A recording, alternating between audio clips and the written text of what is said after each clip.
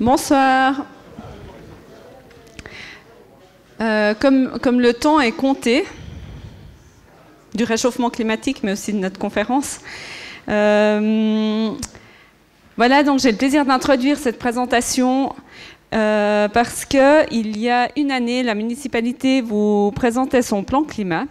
C'est ça marquait le début de l'écriture ensemble de notre avenir. Et pour ce faire, il nous semble important de partir euh, d'un même constat partagé. Et le dernier rapport du GIEC est sorti en mars dernier.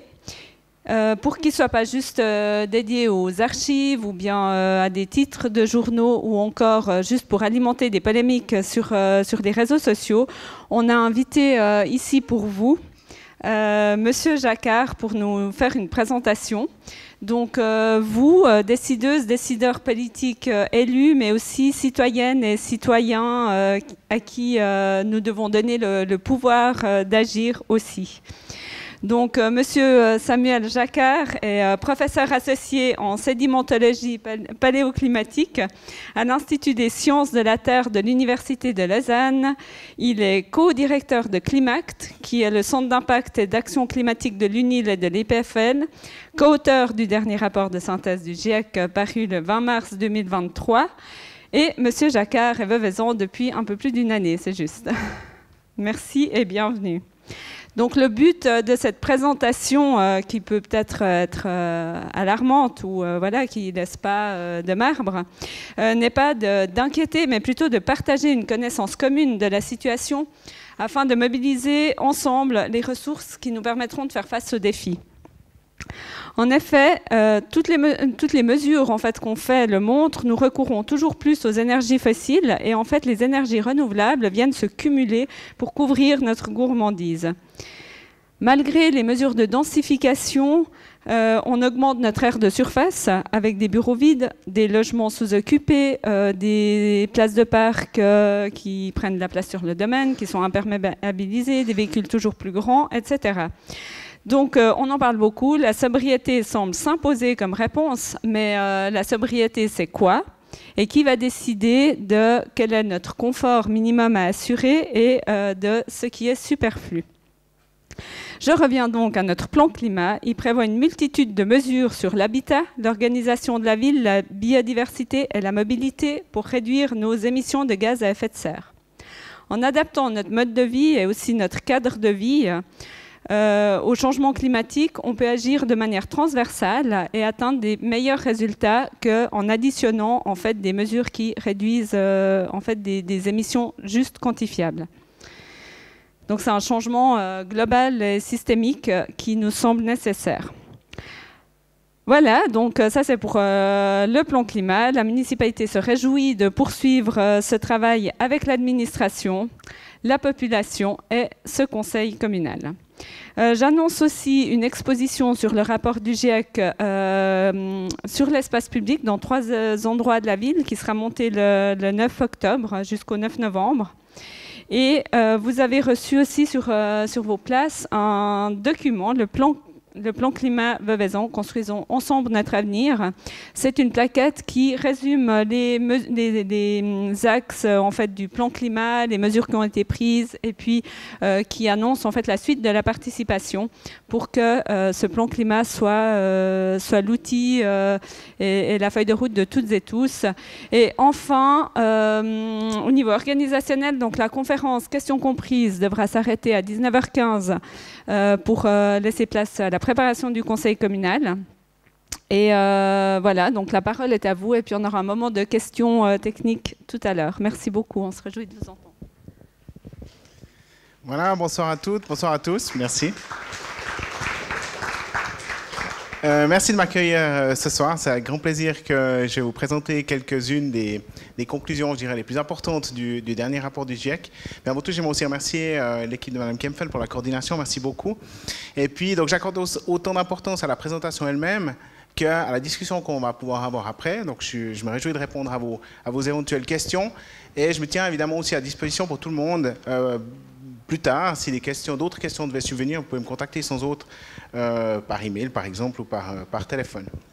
Donc, euh, on m'a demandé de, parler un petit peu des, conclusions principales. Donc, c'est ce que je vais faire.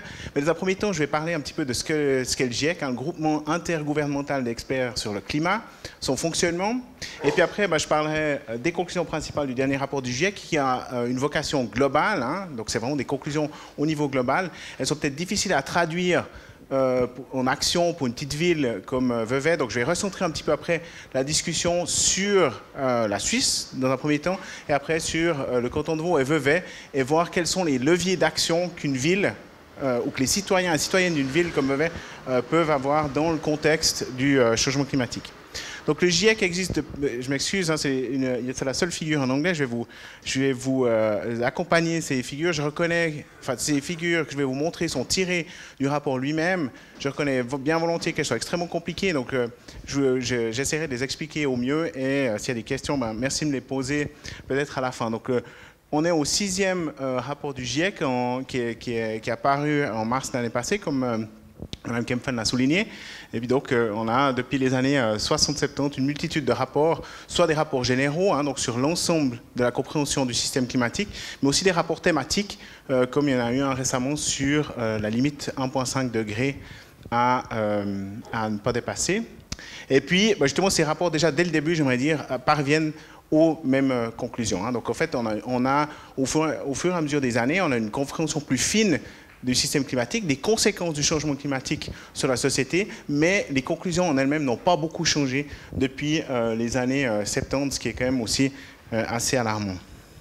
Donc comment fonctionne le, GIEC donc, le GIEC a été créé en 1988 en vue de fournir des évaluations détaillées de l'état des connaissances scientifiques, techniques et socio-économiques sur les changements climatiques. Donc les causes, c'est le premier volet du, du, rapport, donc le groupe du travail 1, euh, volet auquel j'ai participé moi-même, sur les conséquences de l'adaptation à la vulnérabilité du changement climatique, et le groupe de travail 3 sur euh, les atténuations, mitigations euh, en anglais. Donc, le GIEC compte à ce jour 195 membres et son secrétariat est basé à Genève, chapeauté ou, enfin, dans les locaux de l'Organisation mondiale de météorologie. Donc, en fait, chaque fois qu'un rapport est remis sur pied, tous les 6, 7, 8 ans, on recommence à zéro, on remet l'ouvrage sur le métier et des commissions décident du contenu euh, de ce rapport et fait appel à tous les États membres pour fournir quelque part des experts euh, sur toutes ces questions-là. Euh, et donc la Suisse, c'est chapeauté par l'Office fédéral de l'environnement, met à disposition, fait un appel, à, un appel aux experts du, du, pays, des experts scientifiques du pays, et propose toute une liste d'experts qui devront être après sélectionnés par le GIEC lui-même. Euh, et on, devons faire euh, face à vraiment un, équilibre assez euh, difficile à atteindre entre les compétences, représentation, nationalité et de genre, etc. Et je dois dire que la Suisse a été souvent surreprésentée, ce qui est le témoignage en fait de historique de euh, la, science climatique fait était très, très tôt prise en considération euh, en Suisse. Donc on a beaucoup d'experts issus des universités et des institutions de recherche suisses qui font partie euh, du GIEC et qui contribuent à leur élaboration. Donc, quelles sont les, conclusions principales? Donc, je vous montre ces figures-là qui sont assez compliquées. La première conclusion est qu'il est sans équivoque que les activités humaines ont réchauffé aussi bien l'atmosphère, les océans et les terres émergées. D'accord? C'est ce qu'on voit en fait euh, euh, sur la, partie droite ici.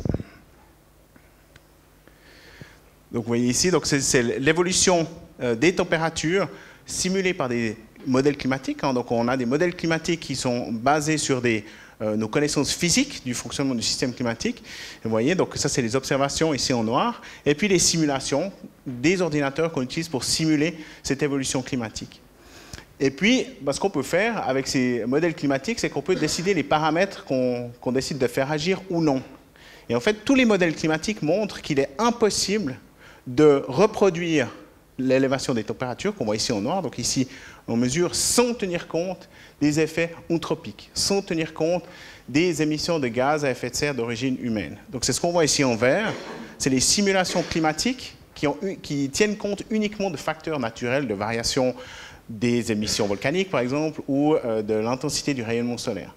Donc sans, je répète, hein, sans l'intervention ou sans la contribution de ces émissions de gaz à effet de serre qui sont liées à nos activités industrielles et humaines, on n'arrive pas à simuler l'augmentation des températures euh, qui est euh, prévalente, surtout depuis les années 50, on va dire. L'autre chose, c'est que il est quasi certain que l'influence humaine a réchauffé le climat à un rythme qui est sans précédent depuis au moins 2000 ans. Je dirais même qu'on peut étendre cette période-là jusqu'à 10 000 ans. Donc, ce qui englobe en fait le développement des activités d'agriculture comme on le connaît ou de la, société moderne en général. Hein. Et c'est ce qu'on voit ici. Donc ici, maintenant, on change d'échelle de temps. On a l'échelle des températures, des réchauffements des températures. L'échelle de temps depuis l'an zéro. Et puis ici, bah, le dernier, euh, dernier siècle, les derniers 150 ans. On considère souvent que le début de la révolution industrielle en 1850 est un peu le début de, la contribution humaine sur le, climat. Donc on voit que durant 2000 ans, le climat était plus ou moins stable en moyenne globale. Hein. Donc c'est ici en gris. Donc on, doit recourir à des méthodes indirectes. Évidemment, il n'y a pas de thermomètre pour pouvoir mesurer ces changements de température. On a différentes méthodes pour le faire. Donc c'est ce qu'on voit en gris ici. Et puis, euh, vers la fin des années 1800, début des années 1900, on commence à avoir des données thermométriques. Donc c'est ici en noir. Et vous voyez très clairement que l'augmentation des températures de 1 à 2 degrés euh, euh, qu'on connaît actuellement est sans précédent en regard de ces reconstructions climatiques qui couvrent ici 2000 ans, mais comme je disais, qui probablement couvrent 10 000 ans. On a des, reconstructions de température qui couvrent des centaines de milliers d'années, mais effectivement, plus on va loin dans le temps, plus elles sont, je dirais, inexactes. D'accord? L'autre conclusion principale, et on en, a, vu le témoignage beaucoup cet, été notamment, euh, le changement climatique d'origine anthropique affecte de nombreux phénomènes météorologiques et climatiques extrêmes. On parle beaucoup de ces événements extrêmes, que ce soit des températures, comme montré ici. Ici, vous avez une représentation schématique des différents continents. Donc, de nouveau, le, GIEC ou le rapport a une vocation globale. Donc, on ne montre pas chaque pays, mais la Suisse fait partie ici de l'Europe euh, l'Europe de l'Ouest, donc ici.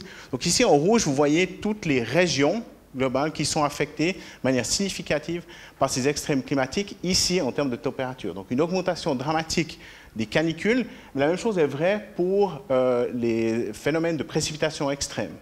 Et par phénomène, euh, qu'est-ce qu'on parle, qu'est-ce qu'on entend par phénomène extrême? Donc c'est des phénomènes qui ont toujours existé, mais qui dans le passé étaient très peu fréquents. On les rencontrait peut-être une fois tous les 100 ans, voire une fois tous les 1000 ans. Alors que maintenant, ces phénomènes-là ont tendance à se répéter de manière beaucoup plus euh, rapide, beaucoup plus fréquente, avec des intensités beaucoup plus importantes. Donc en fait, ce qui était exceptionnel par le passé devient de plus en plus la norme euh, dans le présent. Donc en termes d'impact et en termes de dommages, si on veut réfléchir de manière économique ou, en termes de, de, perte de vie humaine, c'est vraiment ces phénomènes-là qui sont tout à fait tangibles et qui euh, jouent le, le, plus grand rôle, le plus grand impact au niveau socio-économique.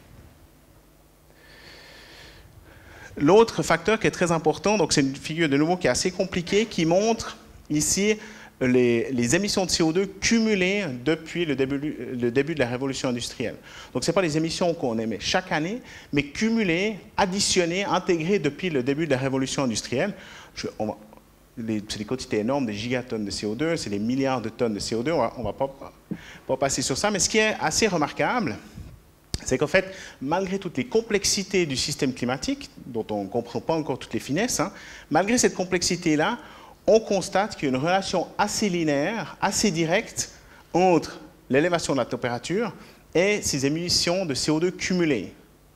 Ça signifie deux choses. Ça signifie que toutes les émissions, quelle que soit leur, échelle, hein, toutes les émissions de CO2 qu'on émet dans l'atmosphère ont un impact direct sur l'augmentation de température. Donc tout, le, tout CO2 émis va contribuer au réchauffement de l'atmosphère. Évidemment, c'est une question d'échelle, mais même à notre échelle, un kilo, une tonne de CO2 aura un impact sur le réchauffement climatique.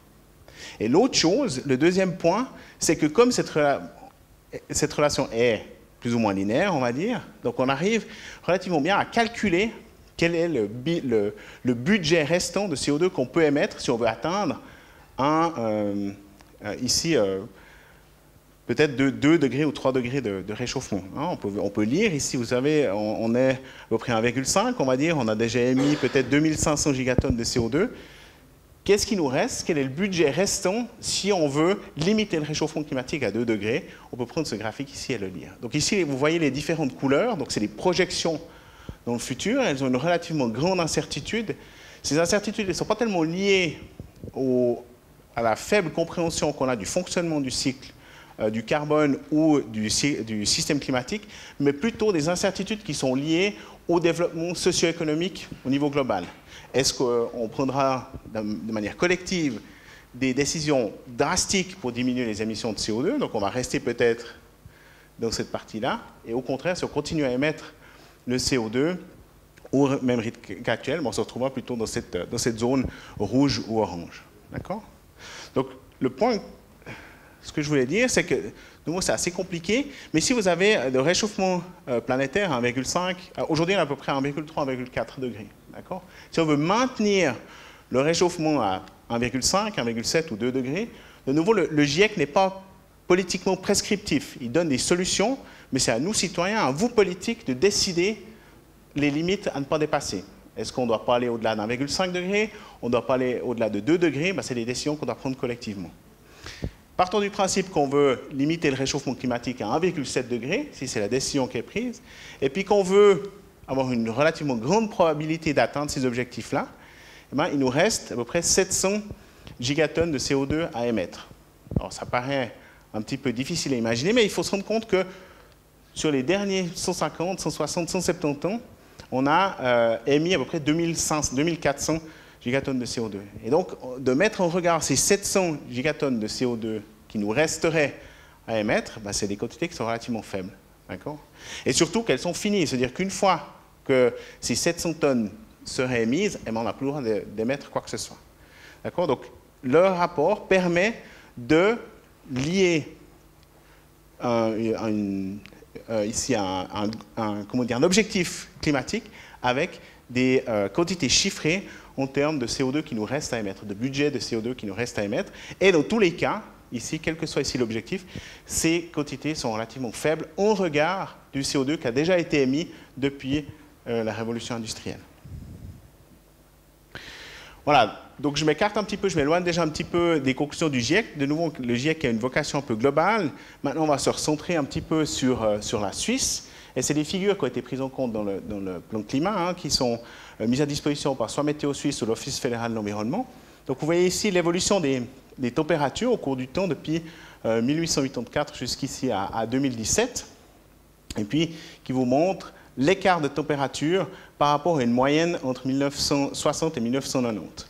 Donc les couleurs rouges vous montrent les températures annuelles plus chaudes que cette moyenne-là, en bleu plus faible que euh, l'intervalle 1961-1990. Et vous voyez très clairement que les années les plus chaudes, euh, on, regarde cette moyenne-là, ce sont presque toutes concentrées depuis le début des années 90. D'accord? Vous voyez très clairement que toutes les, toutes les, et quasi toutes les, toutes les années depuis 1988 au début des années 90 sont rouges, sont plus chaudes que cette moyenne-là. Et j'aimerais aussi mentionner que le réchauffement global, peut-être qui paraît anecdotique, hein, peut-être de 1,3, 1,4 degrés, c'est difficile, c'est pas très tangible, d'accord, mais on, voit que les conséquences euh, de ces événements climatiques extrêmes le sont, d'accord. Mais en Suisse, le réchauffement climatique est deux fois supérieur à la moyenne globale pour différentes raisons dont on pourra discuter euh, plus tard. Donc, en, moyenne globale, c'est 1,2, 1,3 degrés. En Suisse, c'est déjà euh, plus de 2 degrés. Donc les, conséquences ou les impacts du changement climatique sont potentiellement plus importants. On va arriver plus rapidement en Suisse que dans d'autres régions du monde. En Suisse, quels sont les impacts? Je ne vais pas les passer tous en revue, mais on a des impacts sur le nombre de, euh, enfin, euh, l'occurrence des vagues de chaleur, diminution des jours de neige, etc. Euh, des précipitations qui sont plus intenses, plus fréquentes, d'accord? En tout cas, en hiver, l'eau viendra en manquer en été, donc la particularité en Suisse, c'est que euh, la quantité de précipitations qu'on aura en moyenne annuelle ne va pas beaucoup changer. C'est plutôt sa distribution saisonnière qui va changer. On aura beaucoup moins de, précipitations en été et plus en hiver. Mais en moyenne annuelle, ce sera à peu près la même chose. Donc euh, c'est des états de fait après qui sont spécifiques à certaines régions et certains, euh, pays. Donc voilà pour les impacts. Donc vous disiez un, réchauffement climatique de, plus de, de 2 degrés. Alors, quelles sont les solutions euh, Quelles sont les solutions qui peuvent être appliquées à l'échelle d'une ville, d'une petite ville comme Vevey? Ici, on parle souvent de. Je vais juste remettre un petit peu l'église au milieu du village. Et puis, on parle de net zéro, d'émissions net zéro. Qu'est-ce que ça signifie? Se dire qu'à 2030, 2040, en Suisse, on va arriver à euh, diminuer un maximum les émissions. Et le peu d'émissions qu'on ne peut pas euh, diminuer, qu'on ne peut pas éviter d'émettre, eh ben, on pourra euh, les capturer CO2. Mais toutes les solutions, en fait, il a pas, je veux dire, il n'y a pas qu'une solution, c'est toute une combinaison de solutions qu'il faut appliquer, mais elles ont un seul but, ces solutions doivent avoir un seul but, c'est vraiment de diminuer les émissions de gaz à effet de serre le plus rapidement possible. Et en, évitant les émissions, en fait, on, rend les solutions plus faciles parce qu'on évite de devoir recapturer, retirer ce CO2 qui se trouve dans l'atmosphère. En fait, de ne pas l'émettre est la meilleure solution qu'on a euh, à l'heure actuelle. Bien sûr, il y a des solutions technologiques qui existent, et heureusement qu'elles existent, mais il y a un problème d'échelle à l'heure actuelle. Elles, ne font pas du tout le job, elles ne sont pas assez efficientes pour euh, contribuer ou pour parer à la problématique. Donc, je répète, toutes les solutions doivent viser à une diminution drastique des émissions de CO2, enfin de gaz à effet de serre en général et de CO2 en particulier. Maintenant, on parle souvent de. Donc, ici, de nouveau, c'est des études académiques qui ont été faites, qui n'ont rien à voir avec le rapport du GIEC, mais qui montrent en fait la, part des euh, changements de comportement individuel par rapport au comportement de changement, je dirais, collectif, systémique, politique. Donc on doit évidemment changer nos comportements, tous et toutes, mais que ces changements de comportement ne jouent qu'un rôle relativement faible. On ne va pas y arriver si on compte sur la responsabilité individuelle des gens à, émettre moins. Donc on, considère, et puis donc il y a des discussions d'experts évidemment interminables à ce niveau-là, mais on considère en général que les changements de comportement individuel ne représente qu'un quart, peut-être, peu moins, peut-être 20% de la solution, et le reste résidant dans ces transformations systémiques qui doivent être conduites par les citoyens et surtout les politiques. Donc c'est une immense opportunité pour vous, politiques, mais aussi une responsabilité de prendre ces décisions rapidement et les implémenter pour qu'elles euh, donnent des résultats tangibles. Voilà. Maintenant pour les conclusions, donc je répète juste ce que j'ai dit, puis après ben, j'ouvrirai volontiers la, la, discussion. Donc le climat se réchauffe à un rythme sans précédent en raison de l'augmentation des émissions de gaz à effet de serre liées aux activités humaines. Donc c'est une quasi-certitude au niveau scientifique. Le réchauffement climatique affecte toutes les régions du monde, certes à des degrés divers. On voit que les régions montagneuses, les régions polaires sont plus affectées par le réchauffement climatique que d'autres régions tropicales, par exemple. Et puis, la seule solution durable réside dans une diminution drastique, concertée et sur la durée des émissions de gaz à effet de serre. Évidemment, ces euh, décisions politiques doivent être implémentées à large échelle euh, sur tous les continents pour que la, solution soit viable. Merci beaucoup pour euh, votre attention. Je réponds volontiers à vos questions éventuelles. Merci.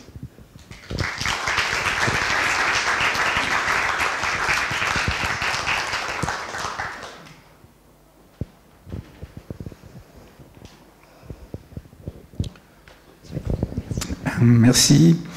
J'ai été un peu interpellé par un des premiers graphiques, ça doit être page 6, 7 ou 8, où il a le cumul de, CO2. Non, c'était pas celui-là, avant. Voilà, celui-là, il est magnifique. Et ce qui m'interpelle au fond, c'est pourquoi vous, ne considérez que le cumul? Parce qu'en fait, euh, la Terre, euh, la nature, le monde, fait aussi de la captation naturelle du CO2. Et donc ça, c'est pas la réalité qu'on a vécue et qu'on vit et qu'on vivra. Donc pourquoi vous, avez résumé au fond cette situation que par le cumul?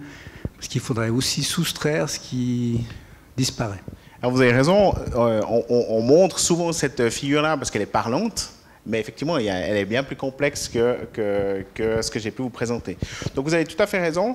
Euh, d'une partie en fait des émissions de, CO2 euh, d'origine anthropique, il y a à peu près la moitié qui est absorbée par la biosphère terrestre et par les océans. Euh, donc ces compartiments du système climatique en fait nous, jouent un rôle très important parce qu'elles tamponnent quelque part, elles régulent un tant soit peu l'augmentation de, CO2 dans l'atmosphère. Cela dit, les modèles montrent que donc jusqu'à présent ces deux, donc la biosphère terrestre et les océans, ont continué à jouer leur rôle. Donc elles continuent à absorber à peu près 50% de nos émissions de gaz à effet de serre. Donc il y a à peu près, je dirais que 50% de ce CO2 qui réside dans l'atmosphère. Mais il continue quand même à augmenter, même si euh, il augmente aussi rapidement que si la biosphère terrestre et les océans n'absorbaient pas ce CO2. Les modèles montrent toutefois que ce service écosystémique, si on peut parler comme ça, va tendre à diminuer. Donc on va non seulement augmenter, les projections montrent que les, les émissions de CO2 vont augmenter, mais qu'une fraction plus grande de ces CO2, je vous rappelle qu'à l'heure actuelle c'est 50%, mais peut-être que 60-65% de ces émissions vont résider dans l'atmosphère. Donc en fait, on aura un, problème parce que euh, surtout la, biosphère terrestre, l'océan va continuer à absorber du, CO2, ce qui nous rend un service, mais ce qui a des conséquences aussi écosystémiques qui, sont, qui peuvent être dramatiques. Mais surtout, notamment, si on veut rentrer dans le, détail, la biosphère terrestre va, euh, donc, euh, plus on augmente les quantités de CO2 dans l'atmosphère, plus la biosphère terrestre va être stimulée, mais d'autres euh, paramètres vont venir à manquer, notamment l'eau dans les zones euh, tropicales. Donc les zones tropicales vont s'assécher et la biosphère terrestre ne pourra plus jouer le rôle qu'elle joue à l'heure actuelle. Donc oui, c'est vrai que, la biosphère terrestre, les arbres, la végétation absorbent du CO2, mais cette quantité va euh, avoir tendance à diminuer dans le futur.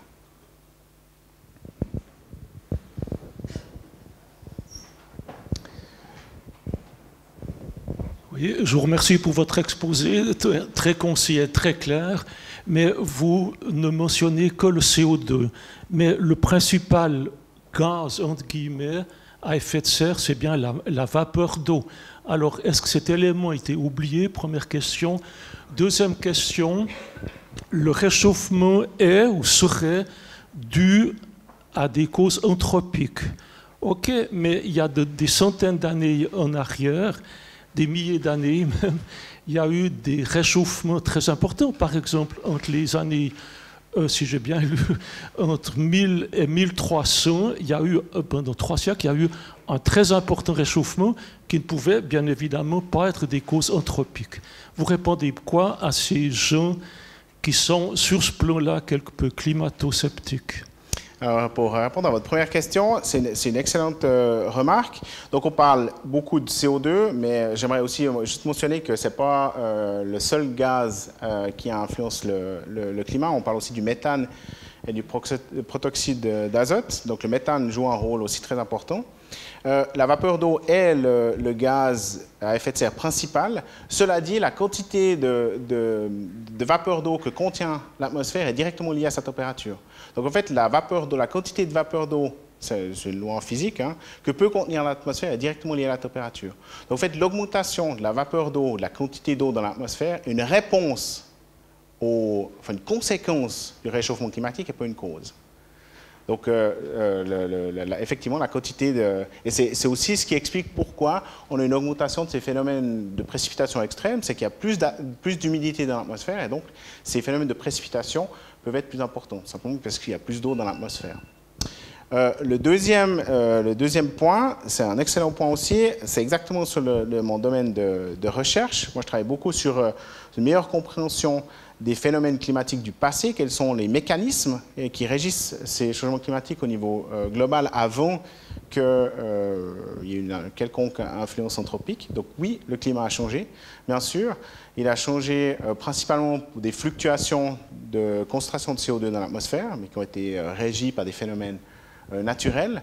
Ce qui est exceptionnel, euh, ou ce qui est sans équivalent, c'est la vitesse ou le rythme auquel euh, ces concentrations de gaz à effet de serre augmentent dans, dans l'atmosphère. Donc ça, sur enfin, les meilleures connaissances qu'on a, ben, en fait, on n'arrive pas, il n'y a pas d'équivalent dans l'histoire de la Terre, en tout cas notre connaissance, peut-être qu'il y en a eu, mais qu'on n'a pas encore découvert, mais les scientifiques montrent très clairement que le climat s'est jamais réchauffé de manière aussi rapide qu'à l'heure actuelle.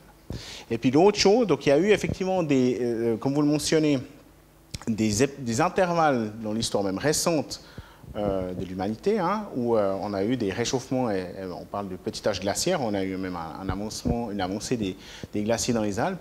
Ces intervalles climatiques, qu'ils soient chauds ou froids, étaient vraiment une expression régionale. Donc pendant que l'Europe se réchauffait, l'Amérique du Sud, etc., se refroidissait. Alors que ici, comme je disais, le, réchauffement climatique actuel est une, expression globale et qui est vraiment directement liée au fait que le CO2 est, bien mélangé dans l'atmosphère et qui va contribuer à réchauffer le globe dans son ensemble.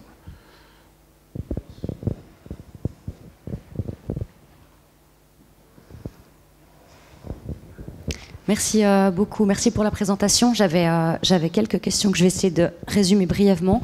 Euh, vous avez montré euh, que pour, euh, qu'on dev- enfin, pour arriver à une, à une limite de 1,7 degré, on devait, il nous restait 700 tonnes à émettre.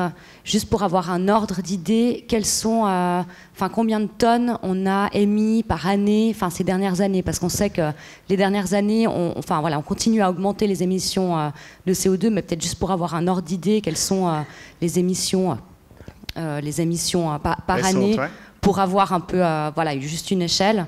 Euh, après, euh, moi, je serais aussi intéressée à ce que vous nous en disiez un peu plus sur les, les grands domaines où on peut réduire de manière, enfin, plus facilement, en tout cas, les domaines où, la réduction des émissions de CO2 sera la plus efficace. Et puis, troisièmement, j'avais aussi envie de vous entendre sur un autre point, c'est que euh, j'ai- entendu aujourd'hui un interview de Julia Steinberger qui disait que euh, dès le moment où on aura dépassé les, les 2 degrés de réchauffement, en fait, les mesures d'adaptation au, au réchauffement climatique qu'on connaît aujourd'hui seront plus efficaces en fait pour euh, pour éviter des, morts ou des, enfin juste une adaptation humaine au dérèglement climatique. Et j'avais envie de vous entendre là-dessus si vous aviez peut-être des éléments à, à nous amener. Alors, euh, donc là j'ai pris un exemple euh, un peu euh, schématique. hein. On, a en fait les, chiffres que vous voyez là, c'est donc ça vous donne la, la- la probabilité d'atteindre ces objectifs. C'est pour ça que j'ai pris ici euh, deux tiers. Et puis en fait, c'est bien des gigatonnes, c'est pas des tonnes, hein, mais bon, c'est qu'importe. Donc juste pour remettre dans le contexte, et je réponds à votre question après. Donc jusqu'à présent, on a à peu près émis 2000 2400 gigatonnes de CO2. Et si on veut atteindre cet objectif-là, il nous reste 700. Donc c'est à peu près un tiers de, de ce qui a été émis euh, jusqu'à l'heure actuelle. On a une accélération des émissions depuis les années 90, notamment avec, euh, avec l'avènement ou le développement industriel en Asie. Euh, et puis, bon, on est entre 2 et 4, euh, 2 et 3 gigatonnes euh, d'émissions de CO2 par année, sauf erreur. Et donc, traduit en, traduit en années, ça fait à peu près 20-25 ans. Mais ça veut dire surtout qu'une fois qu'on a brûlé ce budget, eh ben, c'est zéro, c'est terminé.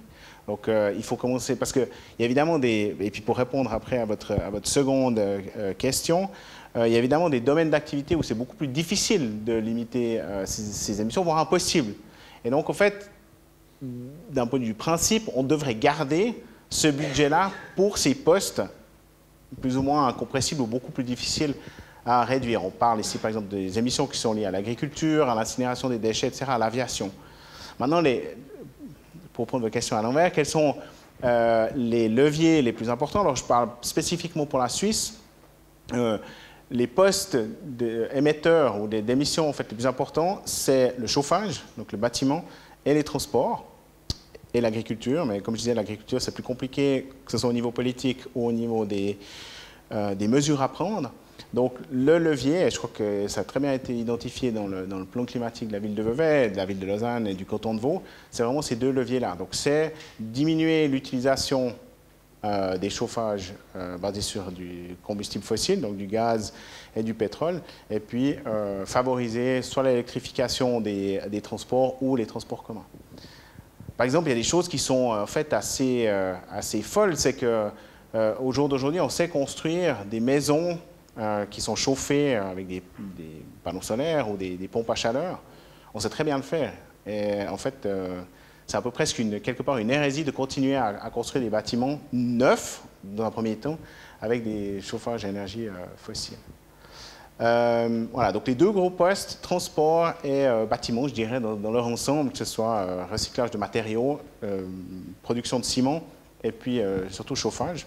Et on voit que, euh, si on regarde les courbes en Suisse, les émissions de CO2 qui sont liées au chauffage uniquement des bâtiments suisses tendent à, se stabiliser. Donc c'est déjà plutôt une, bonne nouvelle. Ça, montre qu'en fait, les mesures qui sont prises, alors peut-être qu'elles seront, on peut discuter de leur efficacité et, de leur rapidité, mais les mesures qui ont été prises jusqu'à présent montrent leur- leurs effets, en tout cas en ce qui concerne euh, le post-chauffage euh, en Suisse. Maintenant, pour la troisième question, je pense que c'est très difficile d'y répondre.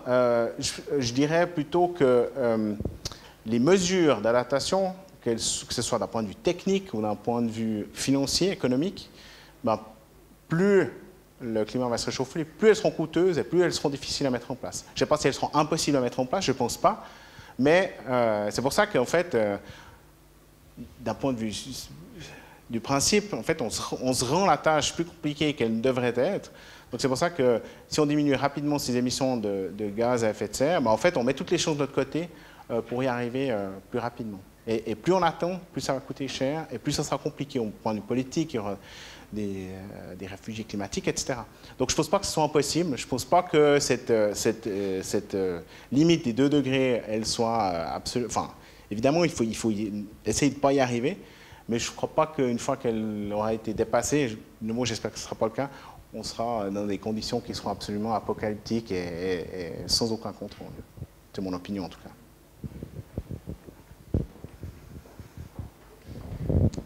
Euh, merci beaucoup pour cette présentation. Petite question et remarque. Euh, est-ce qu'il est possible d'avoir un, lien entre les, émissions de, CO2 que l'on fait euh, chaque année avec les réserves de pétrole pas cher et surtout les réserves de pétrole pas cher à, extraire? Parce qu'on nous annonce la fin du, pétrole pas cher pour 2030-2040 où, là, ça va avoir des, impacts assez grands. Puis c'est si on, met ces deux facteurs en corrélation, où est-ce qu'on atteindrait comme euh, qu'est-ce qu'on atteindrait comme réchauffement? Euh, Et puis la, deuxième question, c'est qu'on a dans le dernier slide quelques pistes de solutions. Maintenant, nous, on est décideurs politiques pour la plupart. Euh, qu'est-ce qu'on peut faire comme solution relativement concrète de sobriété, de privation? Ou autres, euh, la, liste finalement d'actions à, mener, il y en a une partie dans le plan climat, je ne pense pas que ce soit les seuls euh, pour, euh, pour, faire ceci, parce que ça c'est jamais abordé, on ne sait jamais à quelle sauce on va être mangé. Voilà la remarque. donc la première question, juste pour dire que les réserves prouvées, elles changent tout le temps. elles changent aussi tout le temps lorsque les entreprises doivent publier leur bilan, parce que plus les réserves sont importantes, plus l'action monte. Donc les réserves, elles sont assez connues, elles excèdent euh, elles, excèdent, elles excèdent de manière importante ce, qu'on pourrait se permettre euh, d'émettre. Donc, le, peak oil, il ne va, pas nous, va pas nous sauver. Donc, la, fin du pétrole, bon marché, de toute façon, il n'est pas bon marché, mais comme il est tellement euh, euh, tellement de subsides, que ce soit par le monde financier, par les gouvernements, qui va continuer à être, euh, bon marché si on continue comme ça. Euh, maintenant, je serais tenté de dire, et ça sera peut-être un peu provocateur pour la deuxième question, bah, en fait, bah, c'est à nous, citoyens, vous, politiques, de, de, décider de quelles sont les solutions les meilleures, les plus faciles à mettre en œuvre. Comme je disais tout à l'heure, je pense qu'en Suisse, il y a deux postes qui sont importants. C'est justement d'isoler mieux les bâtiments, changer les chauffages, isoler les toitures, euh, et recycler les bâtiments, recycler les, matériaux de construction. Et puis, au niveau des transports, bah, justement, décarboner le plus possible euh, les transports, que ce soit par l'électrification de la flotte, mais ce qui est, euh, pas une solution à long terme, et favoriser le, les transports publics. Alors je sais qu'il y a des initiatives technologiques hein, qui sont faites à l'heure actuelle pour capter euh, le CO2 qui sortirait d'un camion ou d'une voiture directement à la source. Donc il y a des solutions technologiques, mais je pense qu'elles arrivent un peu tard. Et, en fait, elles font, elles font partie de la solution, et je les salue. Hein. je, trouve que c'est vraiment super qu'il y ait ces développements technologiques, mais on a un problème d'échelle à, à l'heure actuelle, et de ne pas émettre ce CO2, c'est encore la meilleure des solutions. Une dernière question et après on clôturera euh, la soirée. On va essayer d'être rapide. Euh, sur, les deux optimums, enfin les optimums précédents, l'optimum climatique euh, moyenâgeux et l'optimum climatique romain, même en, considérant nos régions, est-ce que c'est vrai que les températures étaient plus élevées qu'actuellement ou pas ou est-ce que, Quelle est la part de réalité là-dedans? Et puis l'autre chose, euh, il y a tout, ce débat sur la production d'énergie euh, électrique par les panneaux solaires. Euh, au fond, ce qu'on se rend compte, c'est que l'option bâtiment, elle a un avantage par rapport à l'option parc alpin, etc. C'est que du même coup, on fait l'isolation, parce que ça n'a pas de sens de poser des panneaux solaires sur un bâtiment passoire. Et, et, là, il y a une conjonction qui permet une efficacité qui me semble assez bonne. Voilà. J'allonge pas. Donc, pour répondre à votre première question, euh, les températures étaient probablement pas plus élevées qu'au jour d'aujourd'hui. Elles étaient plus élevées que cette moyenne D'ailleurs, en fait, en moyenne, c'est ce que je disais ici. Si on reprend les reconstructions euh, paléoclimatiques, là, qui sont basées sur différents types d'archives hein, qu'on a, climatiques, euh, bah, en fait, on voit qu'en moyenne globale, donc peut-être que certaines régions sont réchauffées, notamment l'Europe dans, ce euh, optimum climatique euh, de, de peut-être 1 degré. On- donc un peu plus faible que ce qu'il y a à l'heure actuelle, mais après ça reste un peu dans les incertitudes. Mais surtout, euh, bah, ce réchauffement, il a duré peut-être 50 ans, 100 ans, et après, bah, le, climat s'est refroidi. Mais comme vous pouvez le voir ici, en moyenne globale, et nouveau, c'est un peu une construction euh, statistique, hein, c'est difficile de s'imaginer qu'est-ce que ça veut dire en moyenne globale, mais vous voyez qu'en fait, ces événements-là ne sortent presque pas en fait, de la moyenne globale. Donc si une partie du globe se réchauffait, il y en a une autre qui se refroidissait. Euh, euh, et ces événements-là, juste pour, euh, pour le contexte, sont principalement liés aux, fluctuations du Soleil un différentiel d'énergie solaire incidente. Mais donc, ça a duré peut-être 100 ans, 200 ans, mais après, ça s'est refroidi. Après, bah, évidemment, la, question, c'est plus une question politique. hein. Moi, je ne suis pas ingénieur. Je ne sais pas quelles sont les solutions les plus faciles à mettre en œuvre. Mais moi, je suis d'avis qu'il en fait, il faut assainir le, bâti euh, avant de, faire des, des pa- des parcs solaires euh, à grande échelle. Après, c'est une question politique avant tout. hein. Euh, j'ai la difficile tâche de mettre fin à ces échanges. Merci beaucoup à vous, Monsieur Jacquard, à, vous toutes et tous d'avoir participé à, ce moment d'échange et puis pour vos questions. On a vos coordonnées, donc si vous voulez euh, envoyer des questions, euh, on, passera par le bureau de la durabilité. Et puis, ben, comme mot de la fin, j'ai envie de dire, euh, le climat, c'est chaud. Mais on va y arriver ensemble. Et je voulais aussi remercier le Bureau de la durabilité qui est représenté aujourd'hui par Jessica, Jeanne et Antoine j'oublie personne, pour euh, l'organisation de ce moment d'échange. Merci beaucoup.